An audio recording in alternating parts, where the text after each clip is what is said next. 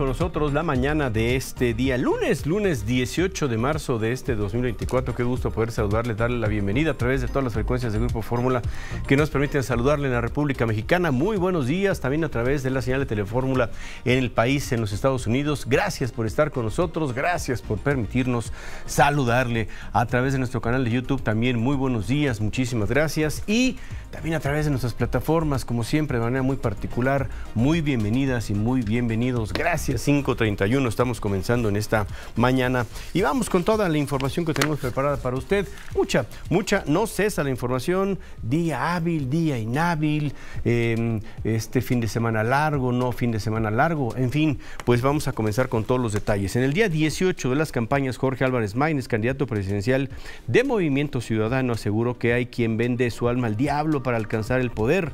Álvarez Maínez ayer estuvo en el Estado de México y va a estar en la capital de la República Mexicana.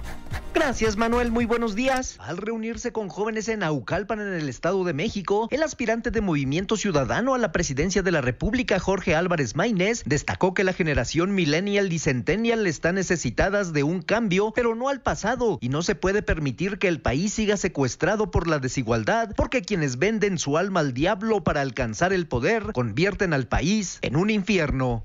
El país necesita un cambio, pero no al pasado, no a lo que ya nos gobernó, no a lo que tuvo su oportunidad y nos dejó un país inseguro. Cuando tú le vendes el alma al diablo para llegar al poder, cuando gobiernas conviertes al país en un infierno.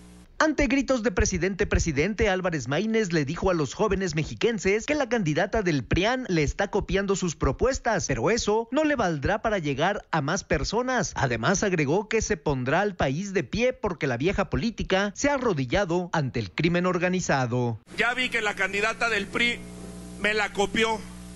Dice, dice que ellos también van a llevar a los jóvenes a la universidad. Primero me copió lo de la refinería en Cadereyta. Y luego, aunque ella había dicho que iba a hacer carcelotas, me copió la propuesta en seguridad. Y ahora me copió lo de los jóvenes porque porque no tienen ideas y porque creen que copiándonos el discurso van a ganar simpatía entre las personas. Indicó que los jóvenes son la generación que va a construir un mejor gobierno y de llegar a la presidencia de la República será implacable con el crimen organizado y la violencia, pero para lograr ello es indispensable llegar libre de compromisos. Manuel, el reporte. Muchísimas gracias, Oscar. Oscar Zúñiga, por la información. Muy buenos días. Claudia Sheinbaum, candidata presidencial de la coalición Sigamos Haciendo Historia, dijo que el eje central de la política de seguridad del presidente López Obrador de abrazos no balazos se ha usado dolosamente bueno, Sheinbaum ayer visitó Veracruz, hoy está en la Ciudad de México. Laura Cardoso, buenos días. ¿Qué tal Manuel? Buenos días. Claudia Sheinbaum asegura que el presidente López Obrador ha logrado estabilizar y reducir el homicidio doloso en todo el país y que cuando ella llegue a la presidencia de la República se reducirá aún más. Dice que la política de abrazos no balazos ha sido usada dolosamente porque Andrés Manuel López Obrador nunca propuso abrazos a los delincuentes sino a la población. El presidente de la República ha logrado, porque es falsa esta idea de que todo está creciendo respecto al 2018, es falsa. Eh, particularmente en homicidio doloso, por ejemplo, el presidente logró estabilizar y comenzar eh, a disminuir el homicidio doloso en el país, que quizá es el delito que muestra la violencia que se desató a partir de la guerra contra el narco de Felipe Calderón. Ella propone fortalecer la atención a las causas ofreciendo una mayor oferta educativa para los jóvenes y reforzar programas como Jóvenes Construyendo el Futuro y se creará el de Jóvenes en México también dice que el Frente Amplio por México y Xochil Gálvez han tenido que recurrir a voceros como la diputada española Cayetana Álvarez para criticar la política de seguridad de la Cuarta Transformación porque sus voceros no tienen credibilidad. Cuestionada sobre su posición en las encuestas respecto a su contrincante, Xochil Gálvez dijo que la colocan con una gran ventaja y en el 100% de posibilidades de triunfo. El reporte, muy buenos días. Muchas gracias, Laura Cardoso. Buenos días. Bueno, ¿qué tal, qué tal, qué tal esta idea de estarse colgando todo el tiempo, porque así lo ha hecho Claudio Sheinbaum, del observador? ¿Qué si López Obrador hizo? ¿Qué si el presidente hizo? ¿Qué si, por supuesto que se lo hizo muy, muy bien. Y sorpresa, Anoche se hizo, este fin de semana hubo debates, debates en diversos estados del país, Jalisco, Ciudad de México. Y lo que tiene que ver con Ciudad de México, sorprendente, pues para mí, pensé que no, o no pensé, mejor dicho, que Clara Brugada, la candidata de Morena, fuera a hacerlo. Y sí, haciéndole promoción también a Claudia Sheinbaum, ¿no? Porque se puede referir a las obras del gobierno de la Ciudad de México, pero no, había que referirse a Claudia. Entonces, Claudia se cuelga de López Obrador. Eh, Brugada se cuelga de Claudia Sheinbaum. Pues sí, así va, así va el tema. Muchas gracias, Laura Cardoso. Xochil Gálvez, candidata presidencial de la coalición Fuerza y Corazón por México, señaló que de ganar el 2 de junio las policías estatales y municipales no estarán solas. Xochil ayer estuvo en Campeche, hoy va a visitar el estado de Yucatán. Israel Aldave, buenos días. Hola Manuel, gracias. Eh, muy buenos días. La candidata presidencial de la oposición, Xochil Gálvez, este fin de semana visitó los estados de Quintana Roo y Campeche. En el primero se reunió con representantes del sector turístico. Ante ellos propuso revivir al Fonatur y al Consejo de Promoción, organismos desaparecidos en esta administración, para que retomen sus funciones de atracción de inversiones y visitantes.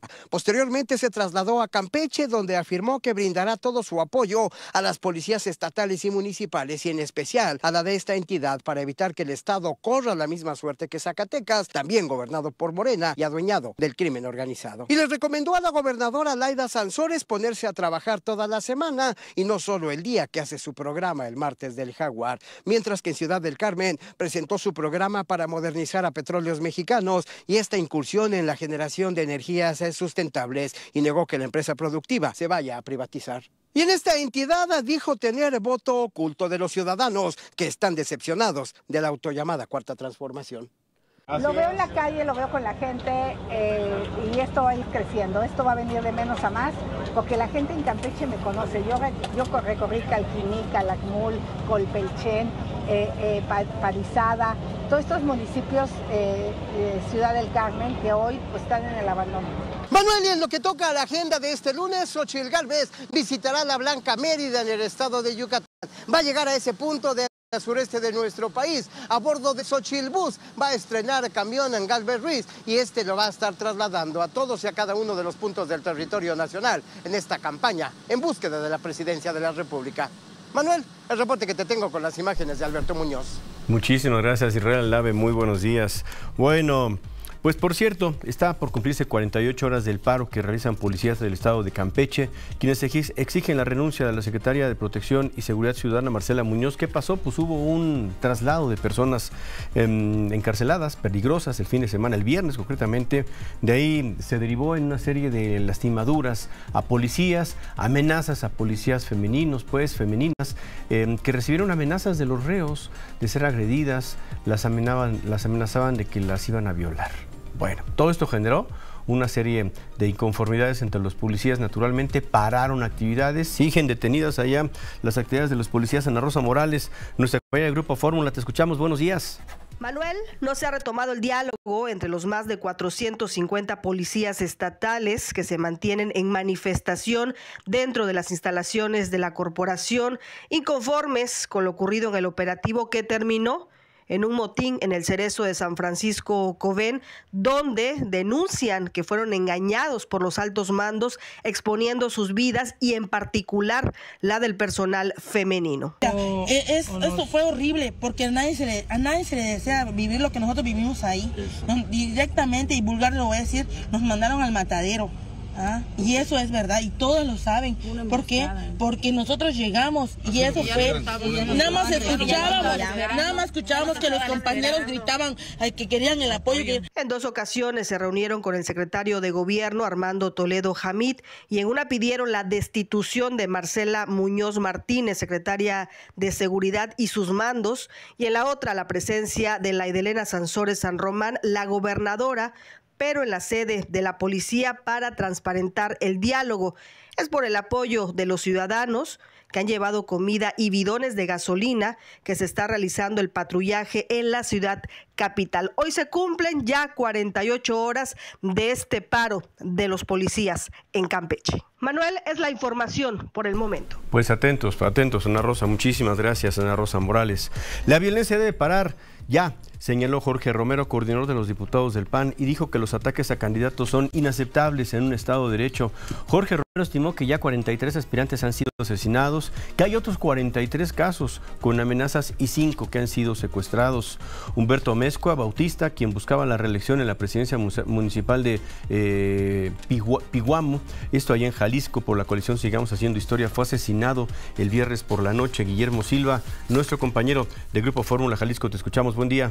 Buenos días, Manuel. Te saludo con gusto a ti y a todos los radioescuchas en este lunes de puente. Y pues desde aquí de Jalisco te comento que fue un fin de semana de mucha actividad en tema electoral, pero también se vistió de luto. Y es que te comento que pasado viernes fue asesinado Humberto Amezcua Bautista, alcalde con licencia del municipio de Piguamo, quien buscaba la reelección en este municipio durante el proceso electoral por la coalición Fuerza y Corazón, conformada por el PRI-PAN-PRD. Fue el gobernador Enrique Alfaro Ramírez quien confirmó el hecho a través de sus redes sociales y detalló que se abrió una carpeta de investigación para dar con los responsables. La Fiscalía Regional eh, informó que se recibió un reporte de disparos cerca de las 22.35 horas del viernes en los cruces de Emiliano Zapata y Venustiano Carranza, en el municipio antes mencionado. Cuando la autoridad llegó al lugar, eh, se encontraba el edil en el interior de su vehículo, ya sin signos vitales. El Partido Revolucionario Institucional, el PRI Jalisco, emitió un posicionamiento sobre el hecho y realizó un acto solemne en honor a Humberto Amezcua, al mediodía del sábado, en donde también se hizo un llamado a la autoridad a blindar estas elecciones eh, con la agresión en contra de Humberto Amezcua. En Jalisco suman dos asesinatos en contra de candidatos, el primero ocurriendo el pasado 2 de febrero en contra de Jaime Vera, eh, precandidato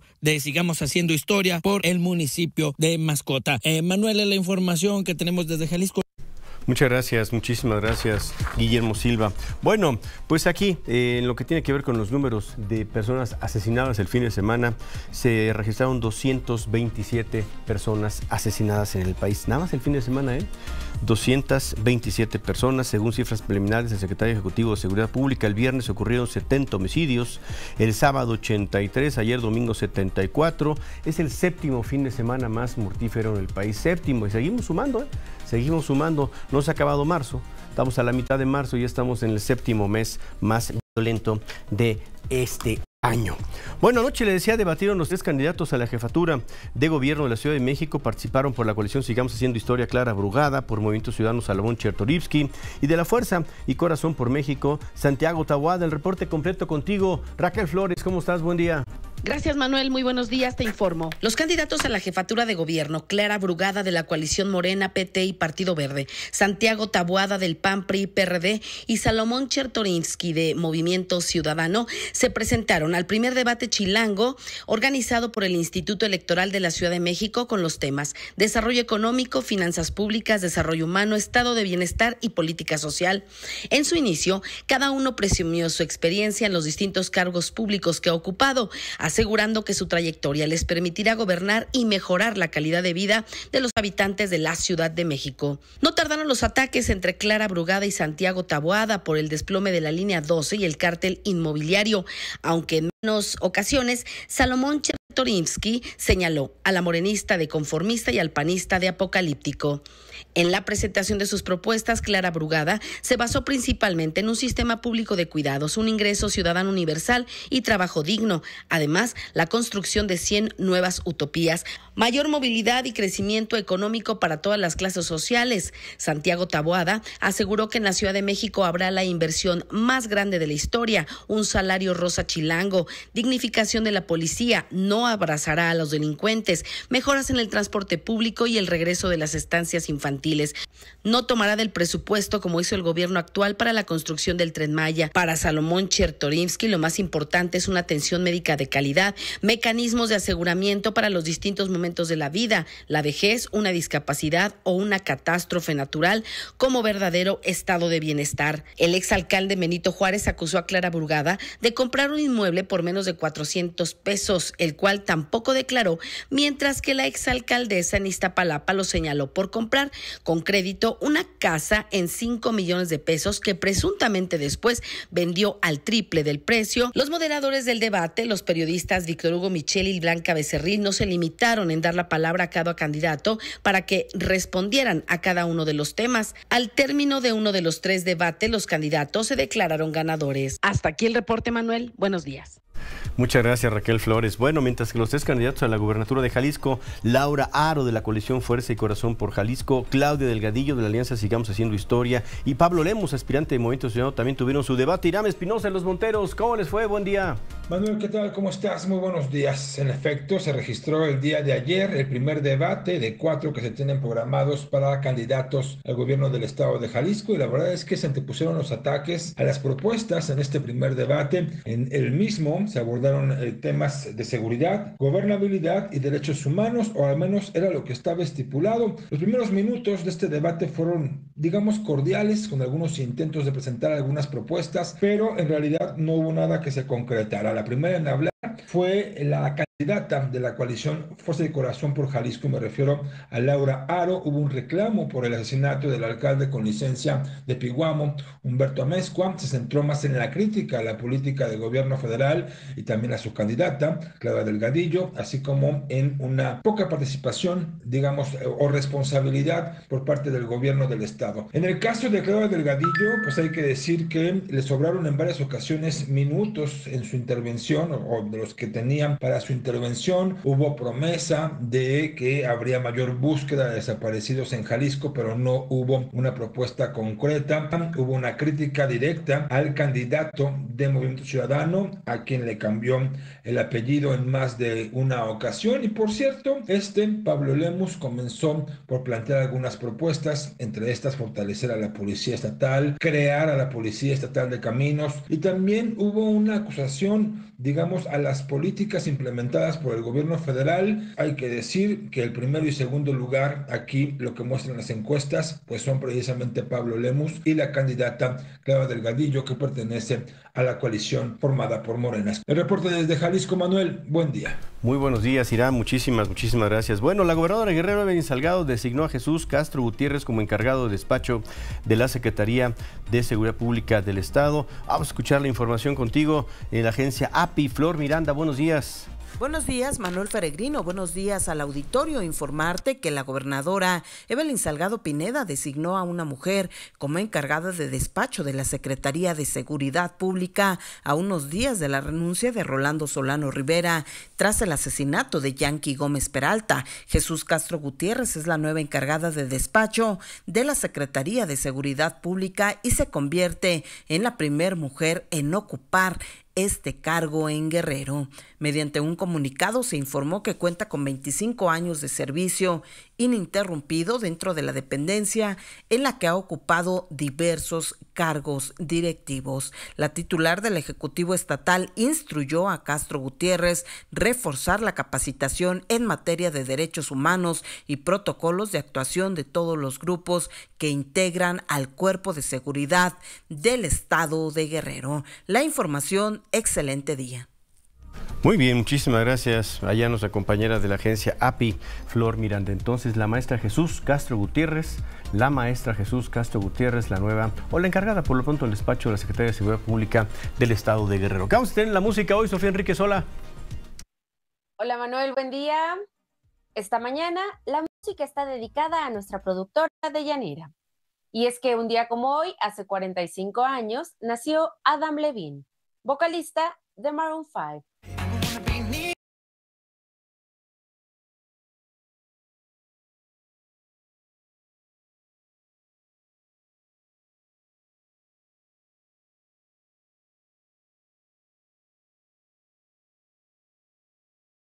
un día como hoy, 18 de marzo, pero de 1979. A los 15 años, Adam estuvo en un curso de verano en Nueva York. Ahí conoció a Jessica Carmichael, a Mickey Madden y a Ryan Dusick, con quienes formaría una banda llamada Cara's Flowers, que años después se transformaría en Maroon 5. Los integrantes de en ese entonces Cara's Flowers se desintegraron y cada uno hizo cosas por separado. En ese tiempo, Adam escribía canciones para su novia Jane.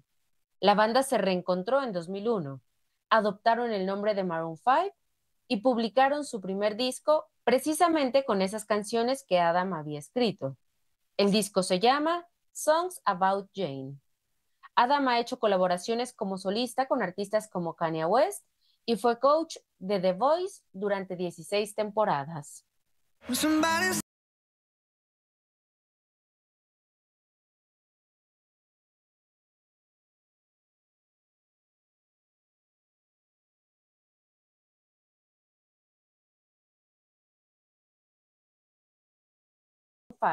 Porque su vocalista Adam Levine nació un día como hoy hace 45 años. Por cierto, Adam Levine fue nombrado por la revista People en 2013 como el hombre más sexy de ese año. Gracias, Manuel. Que tengan buen día.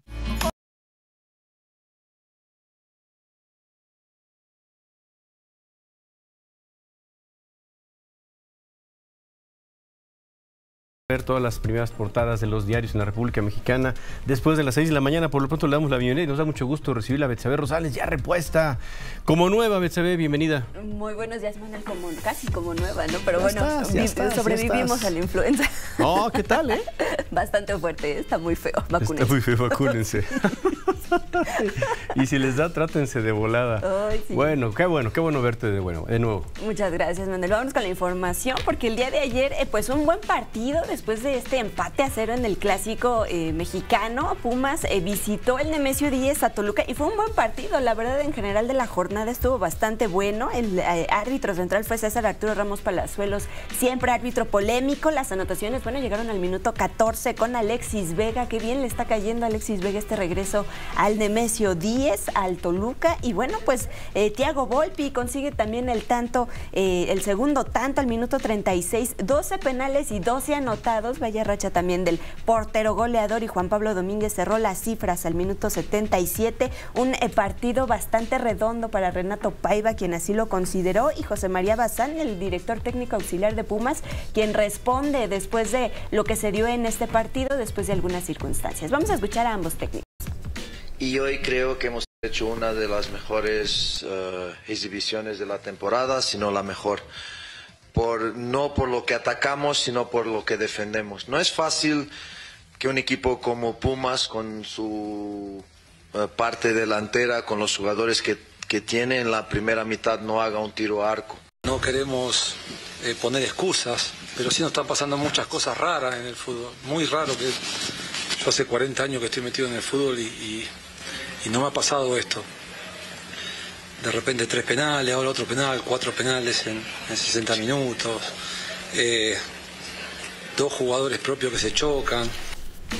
Así que bueno, un buen, una buena victoria para Toluca eh, por parte de Pumas. Los dos jugadores que chocan con sus cabezas se reportan que están bien, están fuera de peligro, fueron por eh, protocolo de conmoción, sin embargo, bueno, se reportan bien y por parte de Toluca, bueno, se notificó que Maxi Araujo eh, presenta anemia, entonces, bueno, el jugador uruguayo va a estar atendiéndose, se espera que pueda regresar en algunas semanas para que pueda atenderse bien de esta situación. También mencionar que en la Liga Mexicana de Softball las primeras campeonas se dieron este fin de semana. Charros eh, de Jalisco Femenil eh, sorprende a Sultanes de Monterrey en cuatro juegos. Se quedan eh, tres juegos por uno. La victoria el sábado, seis carreras por cero.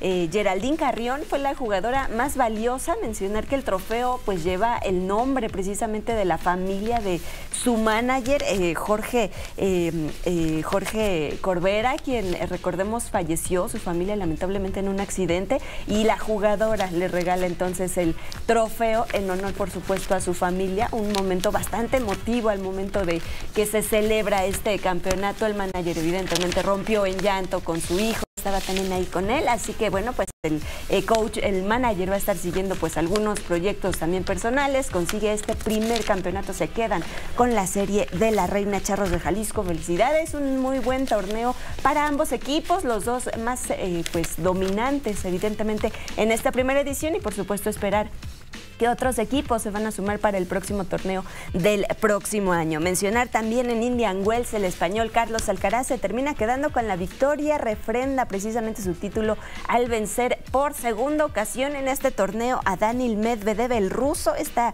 reedición de la final de 2023 había terminado Alcaraz con eh, Yannick Sinner y su racha de 19 victorias consecutivas en semifinales, así que bueno, ahora en la final le bastó una hora con 47 minutos para levantar su quinto Masters 1000 con las damas Igues Viatec vence a María Zacari la griega 6-4 y 6-0 y alza su título 19. Impresionante lo que hace Igues Viatec. Se mantiene eh, Manuel nuevamente como líder del ranking de la WTA, bastante dominante que se está viendo la polaca en la categoría. Muy bien, bueno, pues más detalles, más información después de las 6 de la mañana. Gracias, Betsabe. Muchas gracias. Buen día, bienvenida. Muy buenos Bueno, vamos a pausa en esta mañana. De lunes, lunes 18 de marzo de este 2024, hacemos un corte. Volvemos. Damos la bienvenida a quienes en este momento suman la señal de Grupo Fórmula en esta mañana de este lunes, lunes 18 de marzo de este 2024. Qué gusto poder saludarle, ya lo sabe, a través de las frecuencias de Grupo Fórmula en el país, de Telefórmula, en México, en los Estados Unidos, a través de nuestro canal de YouTube. Muy buenos días y también a través de nuestras plataformas. Bienvenidas, bienvenidos. Gracias quienes desde las cinco y media, así sea en fin de semana largo, en estos días, eh, pues donde es no solo viernes, sino además lunes son días de asueto, está con nosotros, nos permite acompañarle en esta mañana de arranque de semana, pues no semana hábil, pero bueno, pues con mucho gusto listos aquí con toda, toda la información que estamos pues ya desde hace media hora compartiendo con ustedes. Vamos ahora a escuchar las voces de quienes han hecho la noticia en las últimas horas. Es Jorge Álvarez Maínez, el candidato de Movimiento Ciudadano, quien afirmó que la campaña de Xochitl Gálvez está liquidada porque le copia todas sus propuestas. Vamos a escuchar a Álvarez Maínez. está con usted. Gracias, gracias. Oiga, ¿qué opina de los spots? ¿Se los bajaron o no se los bajaron? Hasta luego, compa Maine. Se quedaron con las ganas. ¿Pero por qué se los querían bajar? Porque están muy enojados de que vamos creciendo. No se le olvide el compa Maines. No se me Oiga, olvida. usted dice bueno. que le está copiando todo Xochitl Galvez, ¿es real? Sí. ¿Por qué? ¿Y qué le está No copiando? tiene ideas, no tiene propuestas y está liquidada esa campaña. Las propuestas. Muy bien. Bueno, el viernes en un evento en Quintana Roo, Xochil Gálvez, candidata de la coalición Fuerza y Corazón por México, dijo que Tijuana, Baja California, no es bonito como Cancún. A ver, vamos a escuchar a Xochil, ¿cómo lo dijo? Agradezco muchísimo a Cecilia, estudiante de gastronomía. Gracias, Ceci. Acabo de estar en Tijuana y me contaron todo lo que está pasando con la gastronomía. Tijuana se está volviendo, Tijuana no es nada bonito como Cancún, ¿eh? O sea, la verdad. Pero se está volviendo un destino turístico por su gastronomía, por la ruta del vino en Mexicali. Eso es cierto, absolutamente cierto. Tiene una gran tradición ya entre estas rutas de Guanajuato, las de Querétaro, sin duda las de Baja California. Son esos paseos impresionantes, muy buenos en lo que tiene que ver con los vinos, el orgulloso, eh, pues el orgulloso vino mexicano, la uva mexicana. Pero también es cierto que se prestó una polémica seria por lo pronto con la gobernadora cuando dice Tijuana no es necesariamente bonito porque no es Cancún. Esa es la frase completa. Pero pues evidentemente, y se vale también, pues lo toma así eh, la gobernadora de Baja California, Marina del Pilar Ávila, quien pone en su cuenta de X que merece respeto Tijuana y reconocimiento por su espíritu emprendedor, por su gente trabajadora, su vitalidad única en el país. Como gobernadora defiendo con orgullo a Tijuana y a todos los baja californianos que la hacen grande. Como gobernadora exijo un trato justo y preciso hacia Baja California y sus comunidades. Reitero mi defensa energética de nuestra tierra, tradiciones y gente ante comentarios desinformados y despectivos. ¿Qué le contesta Xochitl? Bueno, pues Xochitl responde en su cuenta de X. Tijuana es grande y bello, gracias a su gente chingona. Desgraciadamente la ciudad está abandonada, mal gobernada por su alcaldesa, por su gobernadora, por el presidente. Solo falta que usted, Marina del Pilar Ávila, Olveda, me diga que hoy Tijuana es un paraíso de paz y seguridad. Eso dice Xochitl. Y aunque usted ande queriendo quedar bien con la corcholata, no se preocupe. Cuando yo gane le voy a mandar todo el apoyo para que a Baja California le vaya bien. Bueno, pues también, también la alcaldesa, la alcaldesa de Tijuana, Montserrat Caballero, envió un mensaje a este programa, aquí a por la mañana, la alcaldesa, precisamente en respuesta a lo que dijo Xochitl Gálvez. Definitivamente los prianistas, sobre todo los panistas, han pensado eso de Tijuana. La han tratado como fea, la han tratado con desdén y la siguen tratando. ¿Cómo se atreve alguien a decir que Tijuana es fea? Tijuana es la bella frontera, la que nos abre los brazos a todos los migrantes, a todos los migrantes que nos vieron feo en otros lugares, Tijuana nos vio bellos y por eso nosotros vemos bella a Tijuana. La señora definitivamente no sabe y no conoce a Tijuana y nunca la conocerá. Y aquí tienen un tema, ¿eh? Tienen un tema que vamos a ver cómo recompone Xochitl Gales, porque tiene que recomponer. Al final la ciudad donde uno vive es su ciudad. ¿Qué más da que esté fea? ¿Qué más da que no tenga playa? Que mire, tiene las playas de Tijuana. Em, tiene Mexicali, tiene su vino, tiene su comida, tiene su jale. ¿no? Sí, efectivamente, no es para nada un paraíso de paz, no es un paraíso, evidentemente no son las playas del, del sureste mexicano, pero pues es la ciudad de uno. Entonces, ¿qué tan fea puede ser la ciudad de uno para uno? Se lo pregunto en serio, se lo pregunto al equipo de Xochitl Galvez. Por supuesto que lo van a aprovechar con mucha fuerza y hacen bien sus contrincantes políticos para solamente sacar la frase Tijuana está fea, dos puntos Ochilgalves, ¿no? Pero pues ahí sí, probablemente para la siguiente vez esas comparaciones tendrá que ser muy puntual, mucho más cuidadosa, mucho más quirúrgica Xochil Galvez al momento de hacer estas comparaciones. La ciudad no es bonita siempre, pues es donde vive uno, ¿no? Vaya, ¿qué tal Fresnillo? ¿No? Pues Fresnillo es una ciudad bonita. Zacatecas capital es una ciudad bonita. Y no me diga el terror y el horror que genera también la inseguridad ahí, ¿no? Pero no por eso se puede decir que viven ellos en una ciudad fea, ¿no? ¿Qué tal Irapuato? ¿Qué tal Salamanca? ¿no? Que son ciudades tradicionales, que son ciudades que fueron pueblitos que se fueron desarrollando. Saludos a todos en Guanajuato. ¿Y qué decir? ¿Que son feas? Yo pienso que no, ese es mi punto de vista. Yo viví muchísimos años en Tlalnepantla, en el Estado de México, muchos años desde niño, ahí me tocó crecer. Un pueblo, ¿eh? Un pueblo, hoy es otra ciudad, pero es un pueblo, pero es la ciudad de uno. Entonces a lo mejor tiene por ahí un punto la gobernadora al defender su ciudad por más características que se puedan desarrollar como una ciudad que comparada con otra, con otro esplendor, por ejemplo con Mazatlán, por ejemplo con Vallarta, por ejemplo con Cancún, por ejemplo con el puerto de Veracruz, no se parezcan. La idea está muy clara, pero esto es campaña política. Bueno, Claudia Sheinbaum, candidata de la coalición Sigamos Haciendo Historia, hizo una votación a mano alzada para saber si proponía o no que la población elija a jueces y consejeros de línea. Vamos a escuchar a Claudia Sheinbaum. ¿Qué prefieren?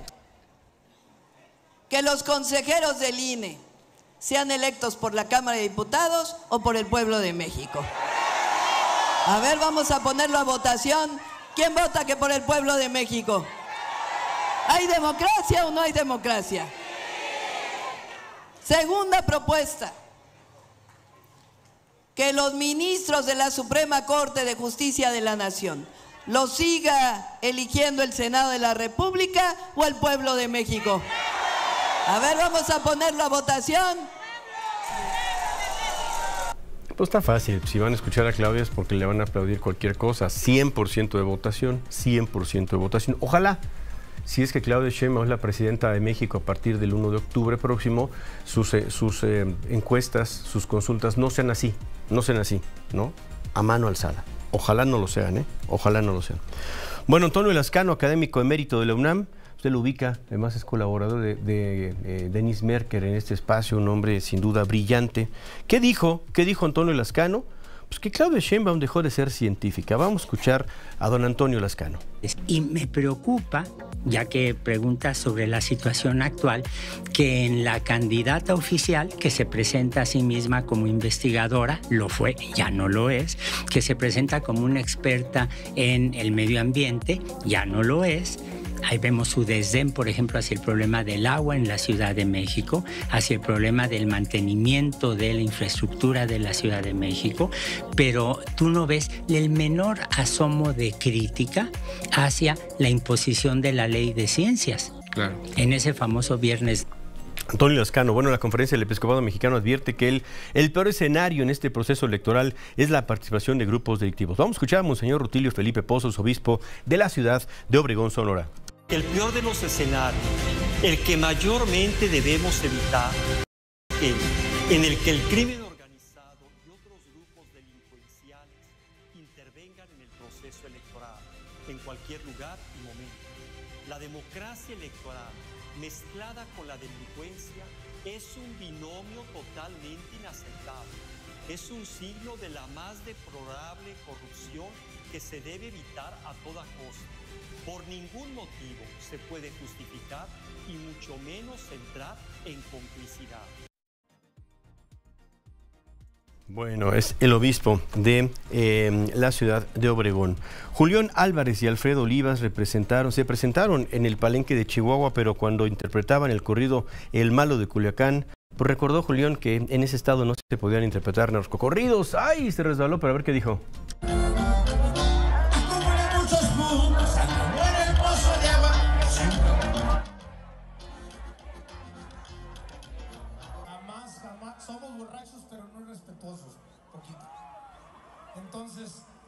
Decimos con mucho respeto, no nos acordábamos que aquí no podamos cantar corridos juntos. ¿No? De verdad lo decimos, oye. Se nos olvidó. Pedimos públicamente y aquí ante todos ustedes una disculpota. De verdad. Y por eso la cortamos porque se nos olvidó, se nos. Ay, me resbalé, dice Julián Álvarez. Bueno, está bien. El sábado, colectivos desaparecidos exigieron la reinstalación del memorial que en enero colocaron a un costado de Palacio Nacional. Le pidieron a la cantante Julieta Venegas su apoyo durante el concierto que pues daría esa noche, la noche del sábado. Confiamos en, mujeres como tú, que, que nos den voz este, al rostro de tantos que buscamos. No vamos a parar, tú sabes lo que es una madre. Pues sí, la verdad que sí. Sí, Podría, Eh, podemos- podría hablar, o sea, contactos, podría... Claro, claro, hacer en- mención. en comunicación, Sí, hacer una mención puedo, eso Porque puedo la mayoría somos mujeres las que buscamos. ¿eh? Ya ves, se han matado a las buscadoras. O sea, la verdad me siento honrada de que puedan que yo, pueda- o sea, que yo les Yo pueda sé. dar voz de alguna Sí, manera. yo sé. pueda- yo sé que estar aquí pues, es- tiene mucho simbolismo y mucho significado. Eso fue, eso fue eh, pues durante el día. ¿Y qué pasó en el concierto o durante el concierto? Así habló Julieta Venegas sobre este tema. Quiero aprovechar este momento para expresar mi, soli- mi solidaridad con la causa de los colectivos de madres y padres buscadores. Doy voz a su lucha y al reclamo para que se respeten sus espacios de expresión y memoria. Vivos se los llevaron y vivos los queremos. Bueno, Mariana, Mariana Rodríguez, que se registró ayer como candidata al Movimiento Ciudadano a la Alcaldía de Monterrey, dijo que, a Monterrey, Nuevo León, dijo en su mensaje que pues eh, normalmente se enfrentará a tres hombres en esta elección, pero bueno, allá en Monterrey buscará ser alcaldesa y que aún así va a ganar. Escuchamos a Mariana Rodríguez. Y por eso mismo les quiero decir que tenemos tres contrincantes enfrente. Tres contrincantes que parece que ya es lotería, que cada vez que va a haber elección en Monterrey aparecen los tres mismos rostros. Pero hoy les decimos que se toparon con Mariana Rodríguez y que vamos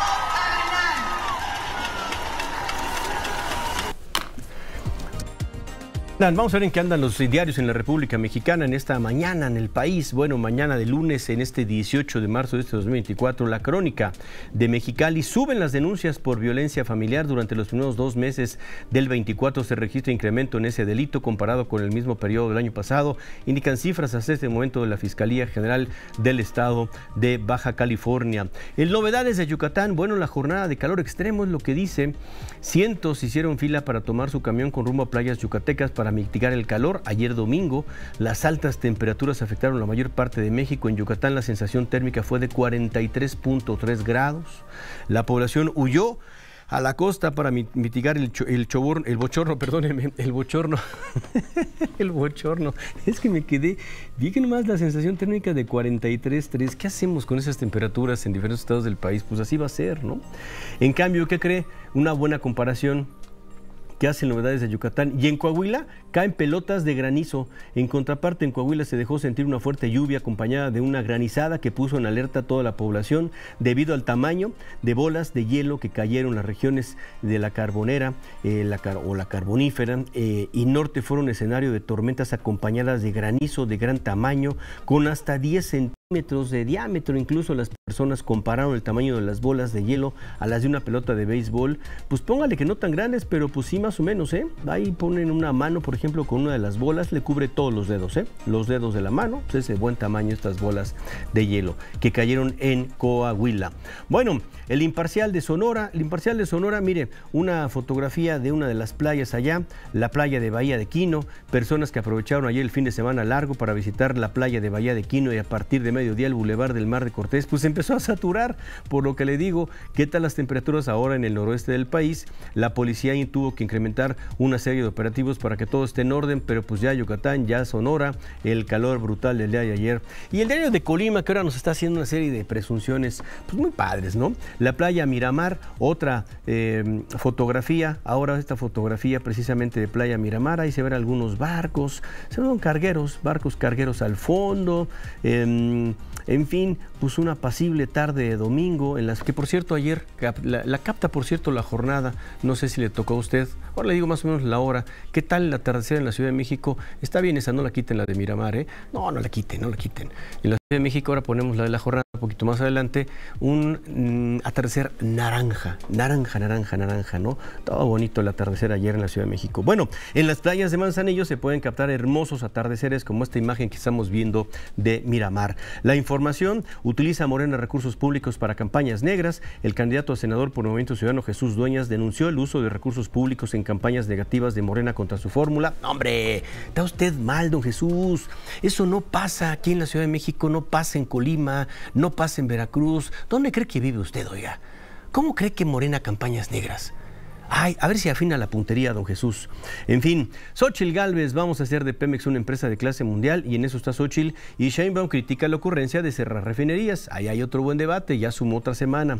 Bueno, el diario de Chihuahua aumenta en un año 45% el gasto familiar. Desde el año 2023 la canasta básica costaba 13.500 al mes, ahora salen casi 20.000. ¿Y qué tal en ese baile tradicional que se hace de polka allá en Chihuahua? Participaron 3.024 bailarines en la megadanza de El Palomar, así que se dio durante el fin de semana, se dio este fin de semana precisamente esta eh, baile de Polka Monumental 2024. Bien, pues ahora sí que acá en la Ciudad de México, ¿qué bailaban? Es ballet, ¿no?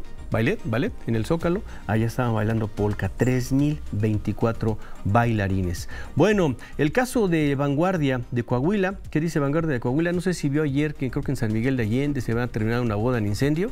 Bueno, pues son coahuilenses. En una noche que debería haber sido de una celebración y alegría, los invitados de una boda coahuilense en la exclusiva hacienda de los Arcángeles en San Miguel de Allende, Guanajuato, vivieron momentos de terror cuando un incendio arrasó el salón de fiestas. De acuerdo con las declaraciones, el evento se trataría de la boda de Roberta del Río Peters y Alberto Tele Martín, hijo de eh, Maritere Martín Bringas, integrante de la familia propietaria de la cadena de tiendas Soriana. Según relatos, y ahí hay fotografías ya de ellos en el momento en el que se estaban casando en la iglesia, ¿no? Bueno, en San Miguel de Allende, según relatos de testigos, el lugar que albergaba más de 600 asistentes se tornó una pesadilla cuando el fuego se desató en una de las mesas de los jóvenes, aparentemente originado por la práctica peligrosa de encender los shots. Bueno, lo que comenzó como un juego pronto se convirtió en un desastre que consumió la decoración y amenazó la seguridad de todos los presentes. El caos se desató rápidamente, al menos 22 personas resultaron heridas por quemaduras en medio del pánico y la confusión. La Cruz Roja Delegación de San Miguel de Allende y otros servicios de emergencia respondieron con prontitud, desplegando seis ambulancias, unidades de rescate para atender a las víctimas de este incidente. Bueno, pues se investigan las causas, pero pues todo parece indicar que fueron unos shots de esos que le ponen este pues, fuego, ¿no? Como taquis, como qué, como que verse unos taquis, ¿no? Órale, pero tomados. Bueno, el informador de Guadalajara, candidato, se sube al ring y con esto regresamos luego del corte para ver esta primera plana. Ahí están los candidatos que también se dijeron de todo el fin de semana en Jalisco. Pero bueno, vamos a la pausa, Sofía Enríquez, ¿en qué andamos en la música? Hola. Manuel, hoy estamos escuchando a Maroon 5 porque es cumpleaños de su vocalista Adam Levine. Gracias por seguir con nosotros. En esta mañana estamos en este lunes 18 de marzo de este 2024. Vamos a seguir repasando la prensa en la República Mexicana. Nos quedamos entonces en el informador de Guadalajara a los candidatos que se suben al ring. Claudia Delgadillo, la candidata de la coalición Sigamos Haciendo Historia, que presentaba ahí pues datos justamente en contra del señor Lemos, de Pablo Lemos. Luego Laura Aro, la candidata del PRIPAN PRD, entonces justamente de la coalición Fuerza y Corazón por México, presentando pues cómo juega Morena. No, hombre, ¿cómo cree? Fosfomorena. ¿Cómo que dice? Fosforena. Fosforena No es cierto, Laura, está usted cotorreando. Bueno, y Pablo Lemos, el candidato de Movimiento Ciudadano, pues presentando por ahí una fotografía y le vamos a dar contexto. Dice el diario, algunas ocurrencias, ataques y propuestas sin explicar los cómo fueron los tres factores en común durante el primer debate de los candidatos a la gobernatura de Jalisco. El tema que detonó más polémica fue cuando Pablo Lemos, aspirante de Movimiento Ciudadano, sacó una fotografía de Claudia Delgadillo, abanderada de Morena y aliados con Osvaldo Espinosa en Dubái quien es fundador de Asesores Jurídicos Profesionales, una empresa financiera que estafó a 1.302 personas en el estado. Bolas, pues con razón se hizo ahí una buena, crítica, ¿no? Juntándose con los defraudadores. Debates pendientes el 13 de abril en Zapopan, el Grande, Zapotitlán, perdóneme, el 13 de abril en Zapotitlán, Zapotlán el Grande, el 4 de mayo en Puerto Vallarta, el 26 de mayo en Guadalajara. Bueno, eso es el, el, el Independiente. El Independiente, el informador, el informador de Guadalajara. El imparcial de Oaxaca, bueno, el imparcial de Oaxaca, por las candidatas a la presidencia en la parte alta del periódico, Pemex será empresa de clase mundial, Xochil Gálvez, la 4T, dice Claudia Sheinbaum, es el renacimiento de México. Bueno, y tronan en la costa contra candidaturas de Morena. Ya ve que en Morena todo es paz, todo es dulzura, todos están contentos. Bueno, en el INE pidieron tiempo para poder presentar algunas candidaturas sin decirle cuáles ahora, no lo tengo claro, pero veía ayer y leía, denos más tiempo para revisar candidaturas, ¿no? Y registrarlas. Es que no nos ponemos de acuerdo, porque son candidaturas para mujeres. Ajá, ajá, ajá. Pero por los tiempos están hace meses, meses, meses. Pero ¿se acuerda que con las encuestas todo es, todo es? ¿Se acuerda que todo viene en Morena? Bueno, pues llega la primera plana del imparcial de Oaxaca. En Puerto Escondido, firmando esta nota, Javier Cruz Jiménez salió desencajado y molesto de la reunión donde se definía la candidatura de presidencia municipal de San Pedro Mixtepec en la costa oaxaqueña el pasado miércoles en la sede de Movimientos Nacional de Regeneración en Morena, en la capital del estado, ante la opacidad y severas dudas de la selección de candidatos a la presidencia municipal de diversos municipios en la costa oaxaqueña. No, bueno, ya están afuera afuera de las instalaciones de Morena, militantes de San Pedro Mixtepec, inconformes por las asignaciones de candidaturas, pero todo es dulzura, todo es amor, todo es felicidad en Morena. Ay, qué felicidad.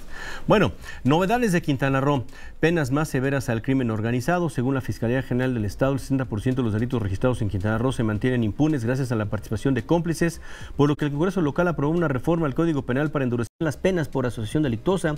La modificación impulsada por el diputado Hugo Alday Nieto impone a dos, de dos a cinco años de cárcel a quienes se unan a una banda de tres o más individuos para delinquir. El legislador dijo que en el norte de la entidad la mayor parte de los delitos de alto impacto, como asaltos a mano armada, ejecuciones, narcomenudeo, fraudes, son cometidos por organizaciones criminales cuyos miembros se protegen entre sí y se coordinan con el mínimo de riesgo de ser, pues sí, de ser arrestados. Esto es entonces novedades de Quintana Roo.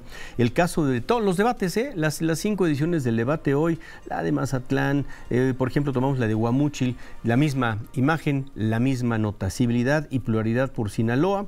Bueno, columnistas, cartonistas, empresarios, políticos, funcionarios, candidatos de elección popular se reúnen en la Meetup Líderes de Opinión. Conservemos sobre el futuro, conversemos, perdóneme, sobre el futuro de México, organizado por debate. Ahí están, ahí están todos eh, y reunidos reunidos justamente en esta, en esta reunión, le digo, Meet Up, líderes de opinión, conversemos sobre el México del de, futuro, organizado por el debate, con una amplia cobertura en los cinco diarios, le digo, hoy en las cinco ediciones del debate. Pues saludos a todos allá en Sinaloa. El diario de Juárez. Bueno, pues pierde Juárez 146 millones de metros cúbicos de agua entre robos, fugas desde el año 2022, la cantidad en cuestión equivale pues a la producida, a la producida por la Junta Municipal de Agua y Saneamiento, así que en Juárez al menos 37% del agua que se produce se pierde producto del robo, fugas o evaporación de acuerdo con datos de la Junta Municipal de Agua y Saneamiento y desde el 2022 a febrero pasado em, se perdieron 146 millones 739 mil metros cúbicos de agua de los 390 millones de los 390 millones 903 mil cúbicos producidos por la descentralizada durante esos 26 meses. No, pues mal negocio, ¿no? Pésimo negocio no cuidar el agua. Y otros estados no tienen, pero ni para tomarla, verdaderamente, menos para el riego, menos para las, las cosechas, en fin, o para las siembras. Bueno, em, Eh, y terminamos con el diario de Chiapas. El diario de Chiapas, pues listo para recibir al turismo. Rutelio Escandón pide recibir con los brazos abiertos a los visitantes en esta Semana Santa. Del 22 de marzo al 7 de abril se van a reforzar las tareas de seguridad, de protección civil en la red carretera, centros ecoturísticos, playas y ciudades. Pues ojalá no haya em, nada, que, em, pues nada que lamentar en lo que tiene que ver con eh, Chiapas, ¿no? Ya ve que ahí de repente se genera una eh, circunstancia de inseguridad. Ojalá no lo sea para este periodo de vacaciones que ya viene, ¿no? Lo mismo, lo mismo el diario de Morelos alista en recibimiento para los paisanos. El programa aéreo paisano va a brindar atención, orientación e información a morelenses radicados en el extranjero que vienen de visita para la temporada vacacional. Ahí están ya llegando al estado de Morelos o estarán por llegar al estado de Morelos, justamente registrado hoy por em, em, el diario de Morelos. Dice además que va a haber módulos de atención en Cuernavaca, en Yautepec y en Cuautla.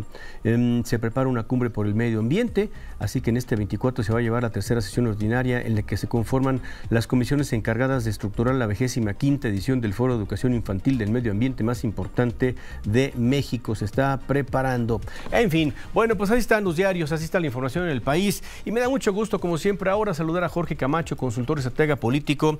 Eh, que lo hemos escuchado en varias ocasiones en esta eh, madrugada, estas madrugadas, con asuntos que tienen que ver con elecciones en, diferentes puntos de América, sobre todo de América. Podemos comentar y perder el tiempo con Rusia, por ejemplo, ¿no? Yo creo que es la séptima elección que tiene Vladimir Putin, pero no. Le pedimos a Jorge una lectura, un comentario sobre eh, el estado natal de Jorge Guerrero. ¿Cómo están las cosas? cómo es lo que, qué es lo que ha estado viendo. Él fue candidato en algún momento del Partido Acción Nacional al gobierno del Estado. Dejó, por supuesto, muchísimo más de lo que hoy tiene mm, pues, visiblemente marcado el Partido Acción Nacional como posiciones en diputados, en, en diputados locales, por supuesto. Jorge Camacho, qué gusto, buen día. Querido Manuel, te saludo con muchísimo gusto. Un placer en este día de asueto espero haya mucha gente que nos esté escuchando. Saludos para toda la gente. Estoy seguro que sí, Jorge. Oye, bueno, pues ya para la gobernadora hay eh, posiciones de encargo en la Secretaría de Gobierno, en la Secretaría de Seguridad Ciudadana. Mujeres, no sé si eso tenga algún mensaje de entrada como para, no sé qué signifique, pero pues eh, da igual ser hombre o mujer en posiciones de tan altísimo riesgo, ¿no? Secretarías de Gobierno, posiciones políticas y decisiones importantes, ni más ni menos la mujer de confianza, de, en este caso la gobernadora, la secretaria de Seguridad Ciudadana, pues tiene que dar resultados. Aquí sí no importa, no, no de que porque es mujer se vacunan para que nadie voltee a verlas, Jorge. Pero ¿qué piensas de cómo están dando las cosas en tu estado? Un estado eh, muy complejo, históricamente lo, sabemos, eh, no solo por el tema que sucedió eh, por, el, por, la, por, el asesinato de los, de los jóvenes de Ayotzinapa, sino que históricamente Guerrero ha sido un estado que se caracteriza por, por la violencia y que de alguna forma ha tenido que pasar y sortear diferentes momentos en, la historia. en, esta, en esta ocasión veo con, con, mucha tristeza que el trabajo de gobierno ha tenido, la verdad es que muchas deficiencias, y lo digo con todo respeto, porque al final de la historia no hay un, gobierno, en este, en este caso, que tome decisiones que le den la, oportunidad a los guerrerenses de salir adelante. Un Estado además golpeado por, una, por un eh, fenómeno natural que puso en evidencia muchas carencias, eh, no solo en Acapulco, sino en general en todo el Estado. Eh, con relación a lo que dices, eh, no importa quién sea la persona que esté en una, en una secretaría de tan alto nivel como la Secretaría de Gobierno o de tanta responsabilidad como la Secretaría de Seguridad Pública, mientras la gobernadora no delegue y mientras la gobernadora no ponga a personal capaz, va a ser muy difícil que las cosas en el estado eh, mejoren. Hay siete regiones en el estado y las siete regiones tienen particularidades y si no se atienden estas particularidades va a ser muy difícil que podamos encontrar solución a problemáticas tan graves y tan ancestrales como lo que sucede eh, en Pixla, donde está la donde está la Raúl Isidro Burgos, que es Ayotzinapa. Eh, problemas que tienen que ver con el abandono, problemas que tienen que ver con el desabasto en general de todos los servicios que puede tener un Estado como, como lo es eh, Guerrero, con demandas tan puntuales como la atención, como la salud, como la misma seguridad. Más de 80 municipios, Manuel, van a tener elecciones en este, en este próximo 2 de junio. Y de esos eh, más de 80 municipios que van a tener elecciones el próximo 2 de junio, eh, me atrevería a decir que la mayoría tienen relación directa con lo que está sucediendo alrededor del, del, crimen organizado. Eh, derechos de piso en tierra caliente, exceso de precios de, productos básicos que nadie controla. En Acapulco, una problemática grave porque hay demasiados grupos que están tratando de ejercer control.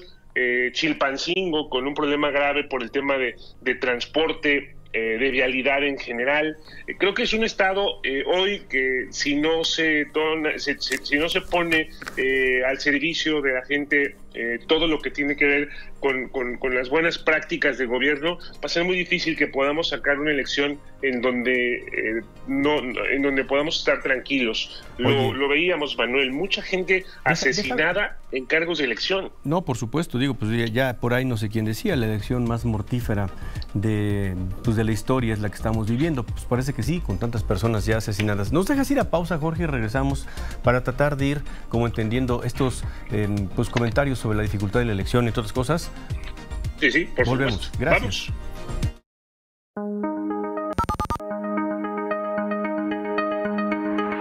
Manuel, muy buenos días a ti y al auditorio. Soy Judith Tapia, gerente de productos para el consumidor en Kaspersky, México. Hoy queremos hablarles de una amenaza invisible que resulta muy preocupante para Kaspersky, pues representa una de las formas de acoso digital que está afectando a miles de personas en el mundo.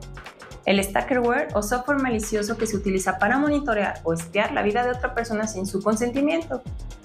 El Stackerware se disfraza bajo la apariencia de aplicaciones de control parental y así se comercializa en las tiendas oficiales de Android o iOS. Se instala como cualquier otra aplicación, es decir, requiere acceso al teléfono inteligente de la víctima. Una vez instalada, el acosador puede monitorear desde su propio smartphone toda la actividad digital de la persona afectada e inclusive tener acceso a su ubicación geográfica. Todo esto sucede sin que él o ella sepa que está siendo monitoreado, por eso decimos que se trata de una amenaza invisible. Un reciente informe de Kaspersky revela que a nivel mundial México está en el noveno lugar de países afectados por Stackerware y ocupa el segundo sitio en América Latina tan solo después de Brasil. Este estudio nos indica que 23% de los mexicanos ha sido víctima de Stackerware, de ellos 24% son mujeres y 21% son hombres, y en ambos casos fueron espiados por parejas o exparejas. Toda forma de acoso digital atenta contra la privacidad de las personas, en especial el stackerware que lamentablemente está asociado a casos de violencia doméstica. Manuel Auditorio, si notan un consumo anormal en sus datos móviles, que la batería de su teléfono se, se descarga muy rápido, que tienen aplicaciones desconocidas en su dispositivo o que alguien conoce información que compartieron de manera privada desde su smartphone, es probable que sean víctimas de stackerware. Los invitamos a consultar nuestro espiómetro en las redes sociales de Kaspersky para que sepan qué hacer en caso de ser víctima de esta forma de acoso digital.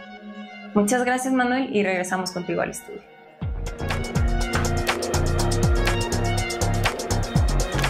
Muchas gracias a Judith Tapia, agente de productos para el consumidor de Kaspersky México. Bueno, Jorge Camacho, entonces estamos escuchándote eh, que redense él, por supuesto, consultor, estratega político, sobre esta perspectiva que pareciera que es como de uso común, pero que me imagino con estos dos ajustes en el gabinete, Secretaría de Gobierno, insisto, una mujer, una secretaria de Seguridad Pública, eh, también ahí, no sé si da la impresión o daría el mensaje la gobernadora de que las cosas, pues por lo pronto ya se corrigieron, pero en el fondo no sé si terminan de corregirse, Jorge, descompuesto ya desde hace muchos, pero muchos, muchísimos meses, si no es que años, dirán algunos, pero en una crisis metida con mucha severidad Acapulco, Chilpancingo, Tixla, Iguala, la Costa Chica, la Costa Grande, hemos visto Tasco, vaya, un momento muy particular de lo que tiene que ver con eh, las cosas negativas, la inseguridad en el estado de Guerrero, y tú lo decías bien, qué complejidad en esta circunstancia llegar al proceso electoral, donde qué garantías hay para que la población pueda salir a votar por quien ellos quieren y no por quien la delincuencia organizada pues quiere, los narcotraficantes, los asesinos, los que cobran piso, Jorge, los torturadores. y eso, Y, eso lo comentamos hace algunos años, Manuel. Si, si Guerrero se incendia, se incendia México. Mientras no haya eh, la posibilidad de tener orden, de, que las cosas en Guerrero eh, se calmen y se apacigüen, va a ser muy difícil que en el resto del país también haya ese, ese orden y esa, y esa paz de la que se ha hablado tanto, ¿no? La gobernadora eh, hace algunos días eh, manda un, hace un documento donde destituye o trata de destituir a tres personajes. Hay un personaje al que no puede destituir de manera, de manera directa y inmediata. Es la fiscal general, porque la fiscal general del Estado está, está fue electa por seis años por el Congreso. Y la verdad es que la Constitución es muy clara. Para que se pueda destituir hace falta o remover del Estado, hace, hace falta que haya causas graves, que pudiera ser que esta situación sea una causa grave, pero tendrá que tener la ratificación del Congreso. Mientras el Congreso no ratifique eh, lo, expuesto por la gobernadora en una causa grave, eh, la fiscal sigue, sigue en, su, en su cargo, como ella, mismo, ella misma lo manejó en este documento que, que, hace público, en donde dice que ella tiene además el derecho de audiencia para que el Congreso la, la, destituya o no. Es un cargo que se da eh, para poder darle autonomía en, los, en el ejercicio de sus funciones a la fiscal. Pero Guerrero, eh, volviendo, volviendo al tema, es, un estado eh, hoy en franca descomposición, Manuel. Eh, el Otis vino a agravar lo que está sucediendo en Acapulco, pero también vino, aunque no lo creas, Manuel, a, darle una, una fuerza inesperada a muchos de los candidatos de Morena en, en, todo el estado extraño, pero bueno, pues así sucede. Eh, tengo oportunidad, tuve oportunidad de hacer algunas encuestas hace algunas eh, semanas y en Acapulco eh, siete o seis de cada diez personas votarían por los candidatos de Morena sin importar quién sea el candidato. Y en el, en el resto del estado, entre seis y siete personas estarían dispuestos igual a votar por Morena sin pensar y sin saber quién sea o cuál sea el personaje que aparezca en la boleta. Eso tiene varias lecturas y una de ellas, sin duda, tiene que ver con los apoyos que se han entregado por parte del, gobierno federal en este, en este último momento. Y más allá de que sea Morena o cualquier otro, el problema es que la gente está eh, ávida de tener recursos, ávida de tener eh, algún ingreso. No hay trabajo en Acapulco, no hay industria en el estado de Guerrero, no hay generación de empleo y el poco empleo que hay que se daba alrededor del campo, pues la verdad es que está muy deprimido. Una, una problemática seria con el tema hídrico, que no ha llovido en el estado, una problemática seria eh, en torno a todo lo que tiene que ver con la producción, porque al final también el crimen organizado se ha metido a la producción y de cada cierto número de toneladas de maíz, de cada cierto número de cabezas de ganado que tengas, pues hay que compartir y eso al final ha hecho que la gente pues eh, desista de la, de la opción de tener, de tener más o de sembrar más o de producir más. Es una situación lamentable, sí lo es, es una situación de, de, grave riesgo, no solo para Guerrero, sino para todo el país, sí lo es, y la solución la verdad es que se ve muy lejana en, este momento, Manuel. Y entonces, pues así va a ser, Jorge, con esos números, con esos condicionamientos, sí o no, con ese agradecimiento que puede haber por el dinero que se recibe, porque no hay capacidad para generar empleo después de la desgracia de Otis, pues entonces el destino manifiesto en Guerrero se va a dar. Sin duda, fíjate, el distrito 7 es el distrito que está, uno de los distritos más afectados en Acapulco, que es donde, donde pega de lleno todo, todo eh, la fuerza del Otis. El 87% de las viviendas tuvo un daño y del 87% de las viviendas eh, puedo decir que recibieron eh, apoyos eh, en, su, en su mayoría y tienen una alta calificación por parte para el gobierno federal, para el gobierno estatal, para el gobierno municipal y todas esas familias hoy no tienen trabajo, pero tienen un ingreso y eso hace que de alguna forma su visión de por quién tendrán que ejercer el sufragio, pues la verdad es que lo tengan eh, prácticamente definido. Esto independientemente de a quién se les obligue a votar en determinado, en determinado momento. Pues regresaremos. complejas. Sí, regresaremos al tema sin duda. Gracias por este panorama, por esta lectura de inicio de semana, como bien dices, de, eh, pues de día de asueto. Y muchas gracias, Jorge, como siempre. Manuel, un abrazo con, mucho cariño y abrazo a toda la gente, que descansen, que, que aprovechen este día. Que te vaya muy bien, gracias Jorge. Buen día. Gracias, hasta luego. Hasta luego. Bueno, le pedimos, le pedimos la opinión eh, pues sobre las campañas, ¿no? Vamos con las campañas, sí, vamos con las campañas, por supuesto, en Yucatán, a Joaquín Díaz Mena, el candidato a la gubernatura de la coalición Sigamos a Steven Story en Yucatán. ¿Cómo ve, qué espera de su campaña y de los cuatro candidatos en Yucatán? Vamos a escuchar al guacho. ¿Qué tal Manuel? Me da muchísimo gusto saludarte a ti, a todo el auditorio de Fórmula. Estoy muy contento en este arranque de campaña a pesar de que me estoy recuperando de una cirugía por fractura del húmero derecho por un incidente que tuve. Pues me representaron mis dos hijos, Joaquín y Julián, estuvieron al frente en el inicio de campaña, eventos muy bonitos en los cuales la gente tomó la campaña en sus manos. Esta es la campaña del pueblo, me mandan videos, fotografías de diferentes ciudades, de diferentes municipios donde la gente se está organizando. Estamos motivados también porque varias encuestadoras de prestigio, como Demoteña de las Heras, nos da 21 puntos arriba, Buen Día que nos da 14 puntos arriba. Y bueno, sentimos que la gente de Yucatán está muy contenta con la labor que nuestro presidente hizo en estos cinco años en los cuales nos tocó acompañarlo desde la Delegación de Bienestar y llevar los apoyos, las pensiones, los beneficios a la gente a todos los rincones de Yucatán a todos los municipios, a todas las comunidades. Y ahora viene el segundo piso de la cuarta transformación con la doctora Claudia Sheinbaum. Queremos acabar con las desigualdades que aún existen en nuestro estado y queremos impulsar que se garanticen los derechos a la educación de los jóvenes, los derechos a la salud de los yucatecos ahora que me toca a mí en carne propia sufrir una dolencia de salud más que nunca valoras lo que hacen con vocación y entrega a los trabajadores de la salud. Vamos a impulsar el rescate al campo de Yucatán, apoyar a las mujeres, jefas de familia. Vamos a trabajar muy fuerte para impulsar el turismo, la seguridad de nuestro estado, la vamos a mantener, la vamos a mejorar y sobre todo el desarrollo y el crecimiento económico de Yucatán, pero con prosperidad compartida, no para unos cuantos. Agradezco a todos los yucatecos que hagan la campaña todos que todos lleven ese mensaje a sus vecinos, a sus conocidos, a sus familiares, que en este 2024, con la campaña del pueblo, vamos a ganar Yucatán y vamos a pintar de guinda nuestro estado para que haya bienestar para todas y todos. Un abrazo y muchísimas gracias por esta invitación. Muchas gracias, Joaquín Díaz Menel Guacho. Renán Barrera es el candidato de la, a la gubernatura de Yucatán por la Fuerza Coalición, Fuerza y Coalición y Corazón por México, PRIPAN y Nueva Alianza. Renán, buenos días.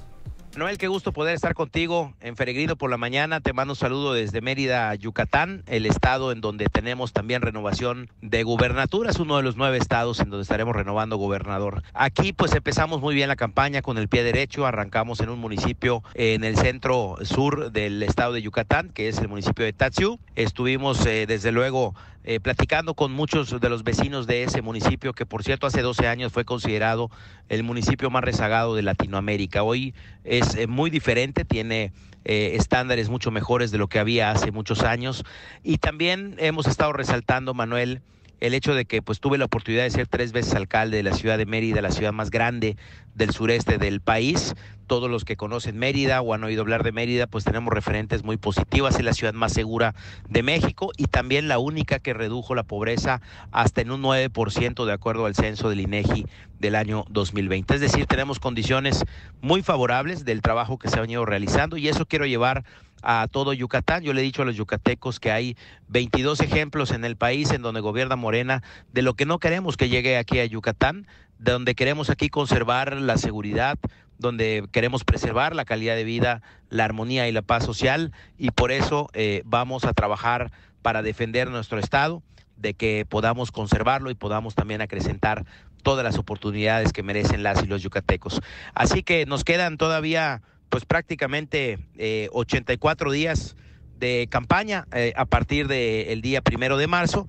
Ya recorrimos 754 kilómetros y también pues prácticamente 25 mil personas hemos tenido la oportunidad de tener en nuestros eventos. Así que aquí estaremos informándoles, eh, Manuel, gracias por el espacio para los estados donde tenemos renovación de gobernaturas y aquí en Yucatán estoy convencido que vamos a ganar. Muy bien, muchísimas gracias Renan. Gracias Renan Barrera. Y bueno, para el caso de las candidatas, Yamín, Yasmín López de la, gubernatura de Yucatán por el PRD y Vida Gómez de Movimiento Ciudadano, las vamos a transmitir mañana. Muchas gracias. Bueno, Betsabe Rosales, buen día, bienvenida nuevamente Betsabe. Muchas gracias Manuel, muy buenos días. Vámonos con la información deportiva porque ya esta semana arranca la Nations League, la actividad para el tricolor y Jaime Lozano con un grupo de jugadores ya arribaron a Dallas para precisamente eh, pues iniciar con esta preparación para el enfrentamiento contra Panamá. Quienes viajaron?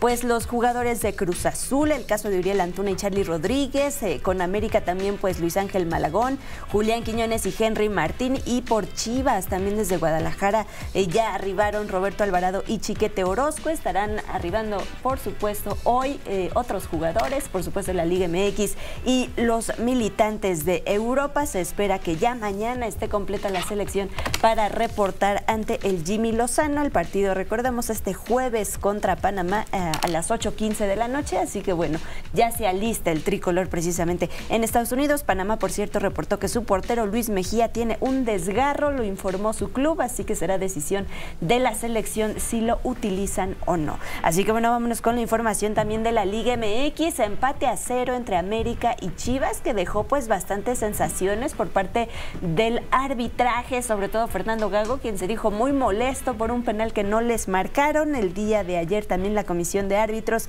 reveló algunos audios del bar de eh, pues esta eh, marca que no se hace, el minuto 34, un penal que es el que no se marca y bueno, determinan que la mano está en posición natural sin ampliar el volumen de su cuerpo y justificada para esta acción, contacto accidental entre ambos cuerpos, por lo que no hay elementos para sancionar el penal, fue lo que señalaron los audios precisamente del videoarbitraje algunos resultados de la jornada. Querétaro vence a Juárez 1 por 0. Tijuana empata 2 a 2 con Santos. Cruz Azul cae en el estadio Azulgrana 1 a 2 ante Necaxa. León vence a Puebla 2 goles por 1. Tigres golea a Mazatlán 5 goles por 1. Atlas cae en casa 1 2 ante Monterrey Atlético de San Luis. Vence a Pachuca. Da la sorpresa en la jornada 2 por 1. En la Liga MX Femenil, América eh, cae ante Chivas precisamente en el estadio Akron 2 por 1. Se queda con la victoria el equipo eh, de eh, Antonio Spinelli. Así que bueno, y van a continuar la actividad de la Liga MX femenil. Algunos de los partidos más destacados a las 7 Pachuca contra Toluca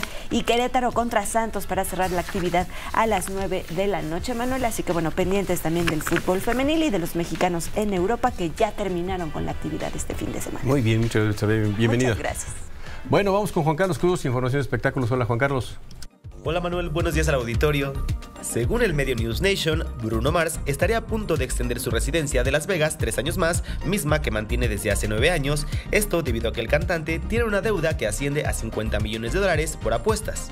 Una fuente anónima reveló que el intérprete de Upton Funk cobraría 90 millones de dólares, de los cuales más de la mitad regresaría de manera íntegra al complejo de hoteles y casinos MGM Grand. La tarde del sábado, Dua Lipa fue captada en las calles de la colonia Roma de la Ciudad de México, acompañada por su novio Callum Turner. Usuarios de redes sociales difundieron imágenes de la cantante, que simplemente está en nuestro país de vacaciones, de lo más sencilla platicando con personas que la reconocieron. Luego de que en octubre del 2023 comenzaron los rumores de una supuesta relación entre Bradley Cooper, de 49 años, y Gigi Hadid, de 28, por primera vez la pareja se ha dejado ver muy enamorada. Aunque ambos artistas han sido muy reservados con esta relación, en esta ocasión no les importó que los paparazzis los capturaran besándose durante una cena de amigos en un restaurante de Los Ángeles. Este domingo se dio a conocer que el músico británico Steve Harley falleció a los 73 años debido a un cáncer que padecía desde hace algunos meses. Estamos devastados al anunciar que nuestro maravilloso marido y padre ha fallecido pacíficamente en casa con su familia a su lado, mencionó Greta, hija del cantante, que será recordado por el éxito Make Me Smile al lado de la banda de rock Cockney Rebel. Lamentablemente el viernes también se dio a conocer la muerte a los 94 años de Humberto Espinosa Magaña, actor recordado por su papel de El Eco Loco en la serie de los 80s Odisea Burbujas. Hasta el momento se desconocen las causas de su fallecimiento, pues ni sus familiares ni personas cercanas al actor han hablado sobre ello. Hasta aquí los espectáculos, regresamos al estudio. Muchas gracias Juan Carlos Cruz, muy buenos días. Bueno, Hoy no tiene que hacérsele temprano a nadie, rutas completas, tranquilas, no hay colegio, pero rapidísimo se va a acabar el tiempo, la tendencia hoy. Muy buen día. La tendencia del día de hoy es la banda de Velanova, pues después de seis años de, de, ausencia tuvieron una presentación el sábado en el Vive Latino, pues con lo que ya marcan su regreso. Denise Guerrero, la vocalista de, de la banda, pues mencionó que no hubo tiempo para despedida por un, por un problema personal que ella tenía, pero pues este es su regreso y que esperan hacer música nueva pronto. Manuel. No dijeron adiós, pero sí hola. Exacto. Muy bien, gracias. gracias. Gracias, Manuel. Muy buen día. Muy buen día, buen inicio de semana. Bueno, comenzamos mañana en punto de las cinco y media de la mañana. Hacemos una pausa y regresamos por la mañana con Ciro.